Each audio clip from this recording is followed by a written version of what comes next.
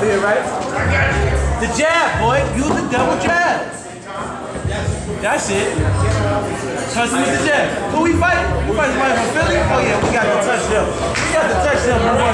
We fighting somebody from Philly. We got to touch them, young boy. Okay, Kato Bellows, I see you over there.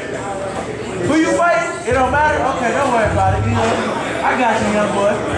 What do you think these young prospects, J'Leon? Young Tabiti? I see you, young boy. Don't worry about it. Who you fighting? It don't matter.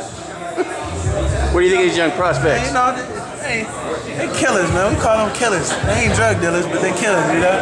Your Luis Arias, Badou Jack, Lanell Bellows, Andrew Tabiti, um, Mickey Bey, uh, am I forgetting? Ronald Gavril.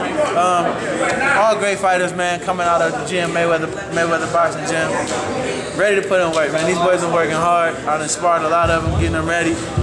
You know what I'm saying? It's coming down to the game. They got weigh-ins tomorrow. I think that's the hardest part, just waiting for the weigh-ins to be over. So they all ready, man.